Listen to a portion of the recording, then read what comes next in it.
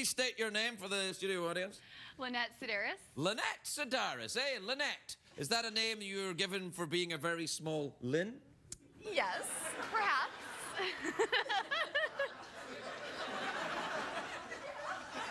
Whoa, whoa, whoa, whoa, whoa, whoa. You're overdoing it, Lynette. I told you, if you're too good, people are going to notice. They're going to think it's not real. All right, Lynette. It's a very enchanting flower you have in your hair. Thank you. I Where are wore you- it for you. Oh, th- yes, all right, all right. Just answer the question. Geoff, do you have any questions for Lynette? Hi, Geoff. Hi, how are you? Good. How are you, Geoff?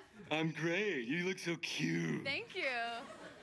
Oh, sorry. Uh, uh, state for the record uh, your shoe size. I am a size seven and a half. Good. Seven and a half, eh? Mm-hmm. Right, well, that's good to know. Now, uh, why do you have a flower in your hair? Is it some kind of festival in your native land? Where are you from? Um, I'm originally well, I'm from Mission Viejo, but my nationality is, is Armenian. Armenian. Yes. Like a Kardashian? Maybe, perhaps. I'm not related to them, but it's the same nationality, so. I see. Could you uh, just turn around and look over there for a minute? Just all the way around. All right. No, no, no, that's all right. Sorry. It's all right. I can see you are sort of a bit related to the man.